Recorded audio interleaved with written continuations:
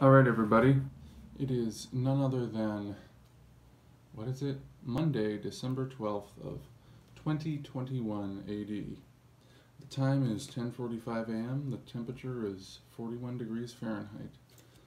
Um, getting up to 47 degrees Fahrenheit by 1 p.m. It's going to be cloudless and sunny and fairly warm today, so probably a good day to get out in it and take your shirt off and be out in the sun for a little bit. We're gonna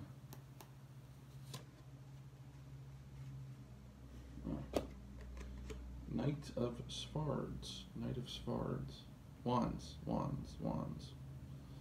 We see an MF on his motherfucking horse charging into it. He's got salamanders on his tunic or whatever you call that. And um, those are symbolic of fire. And um, we got a wand in his hand. The wand, wands are about, um, they're associated with fire, like passion, energy, creativity, that kind of thing.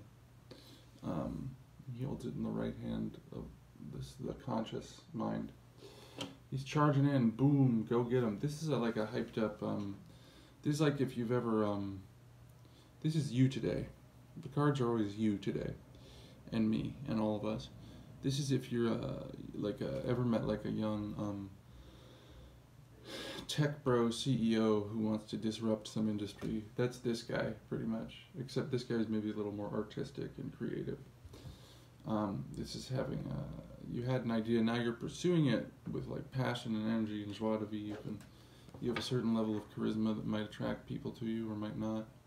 The danger is you get too hyped up and you might forget the details. So before you make a decision, measure the consequences and think today. Most importantly, grab a cup or a mug, a tankard, a chalice, a stein, a canteen flask, a bottle, a vessel of any kind. Fill it with your favorite liquid. I like coffee. And join me now for the unparalleled pleasure, your dopamine hit of the day, the thing that makes everything better, the simultaneous sip. Go.